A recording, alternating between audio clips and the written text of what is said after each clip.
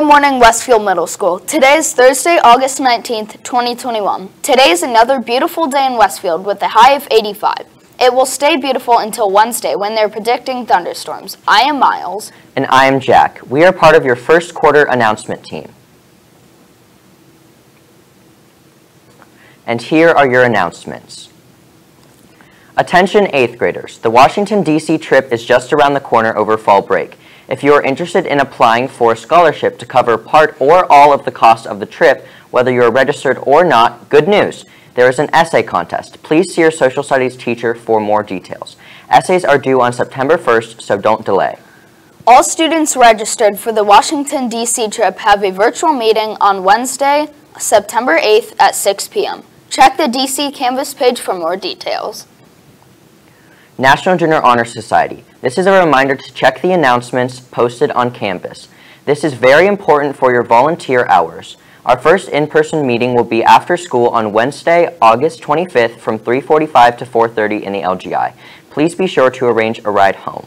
Your counselors want to let you know you can request a time to meet with your counselor directly from your Canvas class of 2026 or class of 2027. The 7th grade Lady Rock started out the season with a huge win over Brownsburg East.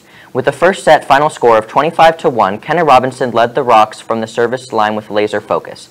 Multiple Rocks contributed to the second set win of 25 to 4. Outstanding serving by Paige Rudolph, Audrey Davis, and Kenna Robinson led the Rocks to a win.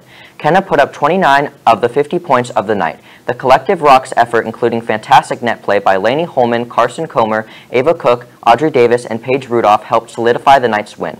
None of that would have been possible without assists from Kenna Robinson and Emily Blevins. Our defense was also on point with fantastic plays by Lauren Sutcliffe, Kendall Strack, and Ella Miles. Great job, ladies. Can't wait to see what our green team does tonight at home versus Noblesville West. The 8th grade volleyball team started off the season with a bang. The Rocks defeated Brownsburg East in two sets, 25 to 8 and 25 to 16. Tough serving by Stella Neal and Ella Jenkins proved to be too much for the Bulldogs. The offense was led by setter Georgia Bresnahan and hitters Lily Amberkey, Audrey Brassett, and Ella Jenkins. The Rocks play HSE on Tuesday at home.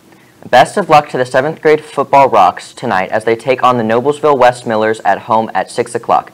Come out and support your classmates who are playing and managing. Westfield football, tackle the excitement. That is all of our announcements. It's a great day to be a Shamrock.